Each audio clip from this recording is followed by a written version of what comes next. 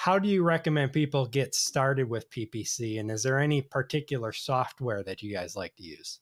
Yeah, so no particular software. Uh, we essentially do everything in bulk sheets. Here's how I would get started. You need some sort of like foundation. So I would go to Helium 10, take your top 10 competitors. You can also do this in Data Dive. And then uh, you want to get the, the keywords of those competitors. So what I do is, you know, go into Amazon.com, type in your main keyword, open up the Chrome extension for Helium 10, go into X-Ray, hmm. pick the top 10 competitors, run them in Cerebro. You're going to get probably like 60,000 keywords. So then add some advanced filters, something like at least 500 searches or more a month, a maximum uh, rank of 60. Anything beyond 60, it just might not be a relevant keyword. And then uh, minimum ranking competitors, I would do 7 out of 10 or 8 out of 10 because that gives me the intersection, uh, which means if you're showing this keyword, it means that all of these competitors are ranked position 1 to 60 for that keyword, or at least, you know, 8 or 9 out of the 10 competitors are ranked for that keyword. So that gives me a nice refined list. I'll take that refined list and I'll start, you know, putting some campaigns to do discovery, but also to do some targeting. So I'll start with an auto campaign, uh, break it up into close match, loose match, complements, and substitutes, knowing that complements and uh, loose match are probably not going to perform that well. So I'll start them off with a little bit lower bids, much, much lower than the suggested bid. Um, $100 budgets, no problem. One campaign, one ad group, and, and you know, just that targeting type. And then substitutes and close match, probably a little bit more of an aggressive bid, knowing that they're going to discover keywords. And a lot of the times they do perform. And then I'll start taking those main keywords, probably the top five main keywords, and do single keyword campaigns just because they're very powerful keywords. So one campaign, one, one ad group, one keyword for the top five main ones. Uh, broad, phrase, and exact. So it'll be a total of 15 different campaigns, one for each match type because they perform differently. $100 budget, if you're trying to be conservative, start at a lower bid and you can always work your way up. And then for the other keywords, mm-hmm. I like to take like five at a time and put them again, you know, broad phrase and exact campaigns.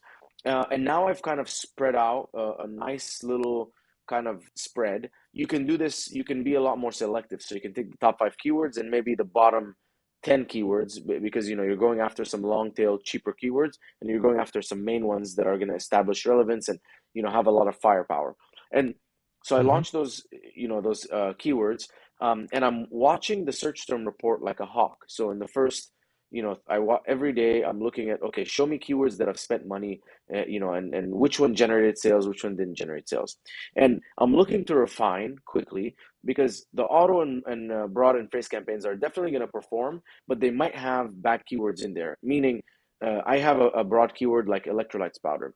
I go and I look at the search term, the you know the search terms inside of that broad keyword. Some of it is like electrolyte supplement, and another one is electrolyte packets. And so my product's not a packets, for example, and so I'm not converting well for that. So I'm looking for those things that I'm not converting well for, negativing them quickly, and keeping the ones that I am converting well for. And if you ask me what is the definition of good and bad, I would say for me like one to thirty percent ACOS uh, is good uh, in terms of conversion on a search term. And then 50% of my sale price with no sale with no sales. So like if a $30 product, $15 in spend and no sales, or greater than 100% ACOS, that's not good. So I'll add those as negatives and, and um, greater than 100% ACOS and low sales. But if it's greater than 100% ACOS and it's generating like, you know, 500 sales a month, like I'll leave it. It's, it's all, it's all good. It's probably benefiting on the organic side, but adding those negatives and then going in and, and hunting for new search terms that have converted and launching them in their own campaigns and so that's kind of like my system of okay uh, you know we're launching the goal is not to overspend i don't want to I, I don't want to control the bids yet i don't want to be too you know uh, tight because you're not going to be profitable when you're when you're initially growing so i want to just hmm. anything that's really bleeding pause it and kill it but anything that I find as an opportunity that's generating sales, add them to more campaigns. I, I wouldn't negative something that's already working, just you know, launch them in more campaigns. And do this again and again, increase my impressions, increase my sessions, um, and focus on growth for the first, let's say 30, 45 days.